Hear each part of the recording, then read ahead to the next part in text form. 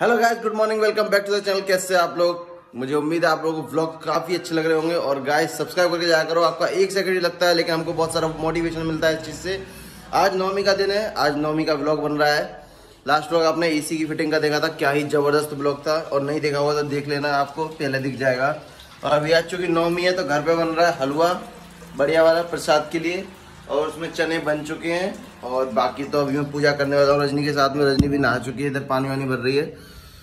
तो मज़ा काफ़ी ज़्यादा आने वाला है आज के ब्लॉग में। बने रहना और मैं चीकू को दिखाता हूँ। चीकू तैयार होकर सुबह से लांगोर बन के घूम रहा है। खाना पीना खा रहा है इधर उधर दावत मार रहा है पैसे जमा कर रहा है।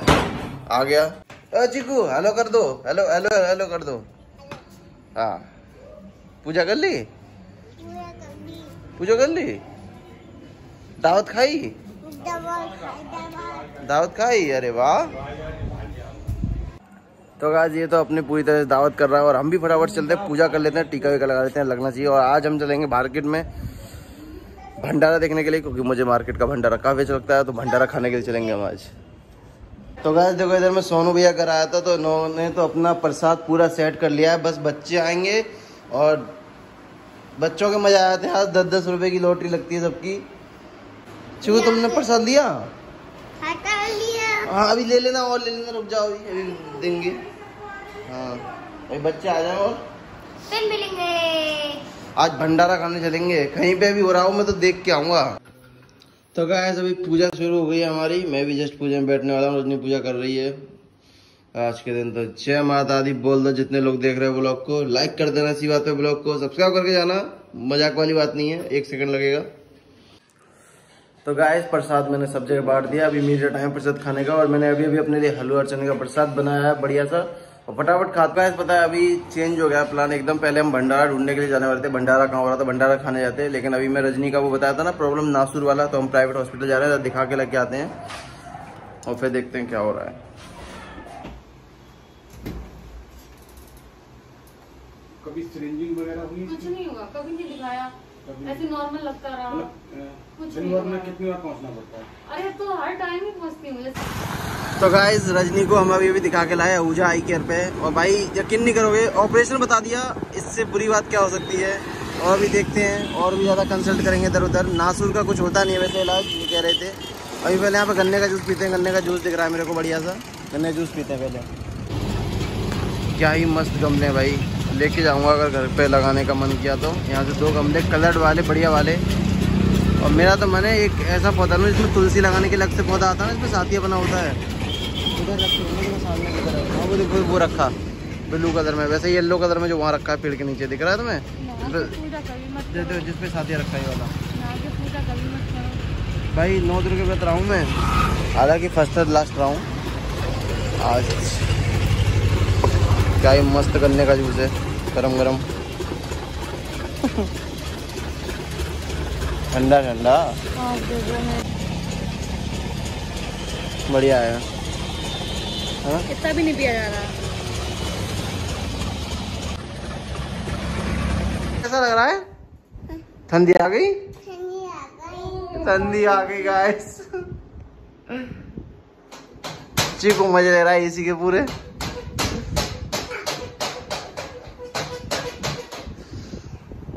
लिटरली बता रहा हूँ अगर मैं इसकी कूलिंग की बात करूँगा तो मैं इसको फाइव में से फोर पॉइंट फाइव स्टार दूँगा भाई साहब फाइव में से। इतनी अच्छी कूलिंग है इसकी।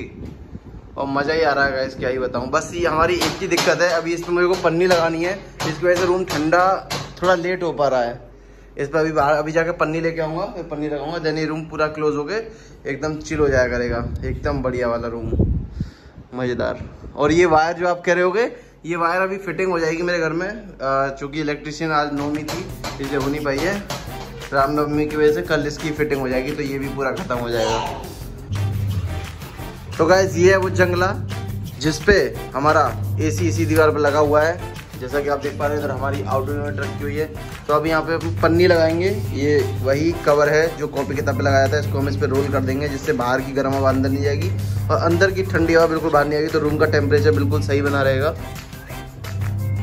फटाफट से ये काम कर देते हैं, फिर मैं आपको दिखाता हूँ ये कैसा दिखने वाला है। और जल्दी करना पड़ेगा क्योंकि छः से आठ मच्छर घुसने का टाइम होता है।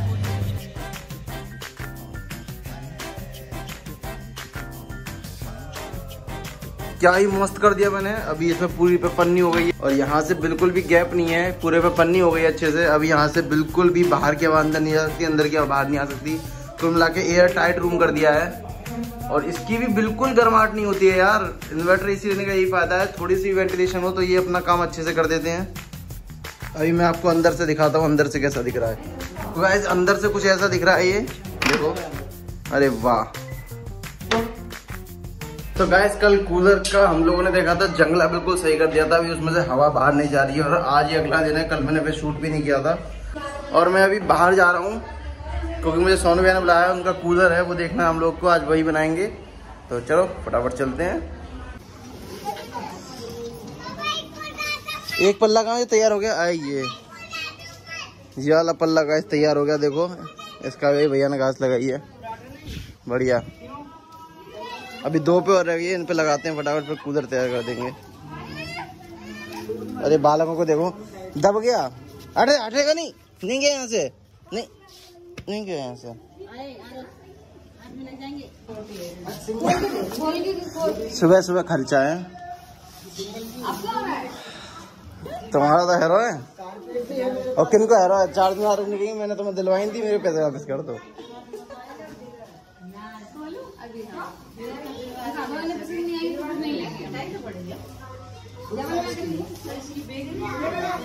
कोई खास नहीं है। लेकिन अच्छी लग रही है। खोलो। बिलू ये भी अच्छी लग रही है। चेक में है ना बढ़िया कलर है दोनों अच्छी लग रही हैं। दो लेंगे भैया। इस चिकू को देखो। इसमें एक पहिया ही नहीं है और। गंदी बात चिकू। उधरो पहिया नहीं है इसमें एक पहिया नहीं है।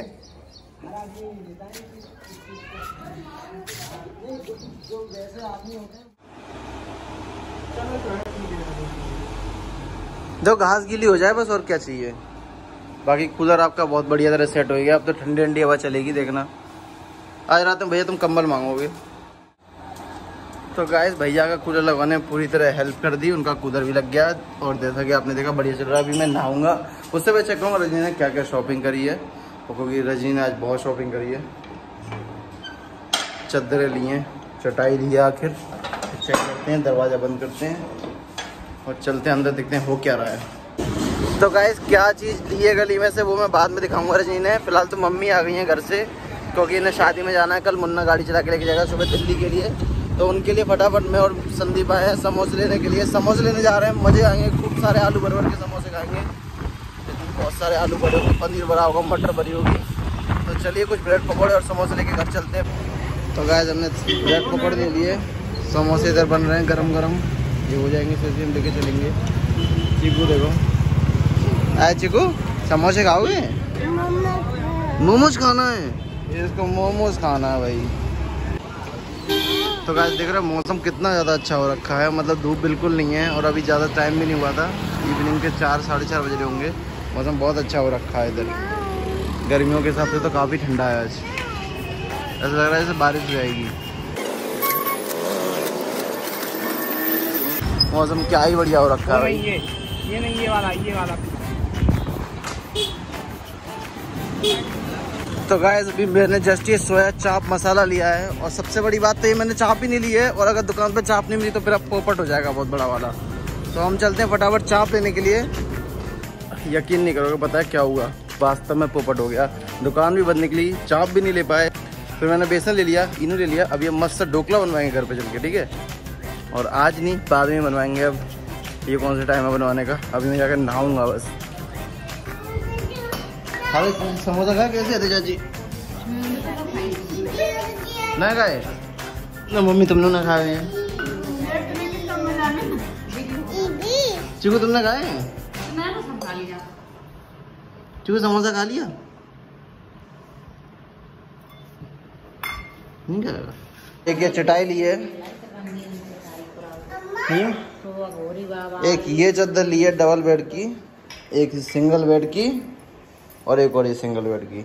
तो गाइज़ ये ब्लॉग यही खत्म हो रहा है। उम्मीद है आप लोगों को मज़ा आया होगा। हमारे ब्लॉग को ऐसे लाइक करो शेयर करो सब्सक्राइब करो। और अभी मैं नहाने जा रहा हूँ। ये ब्लॉग अभी यही खत्म करे तब तक के लिए टाटा बाय बाय मिलेंगे एक और नए ब्लॉग में। अलविदा।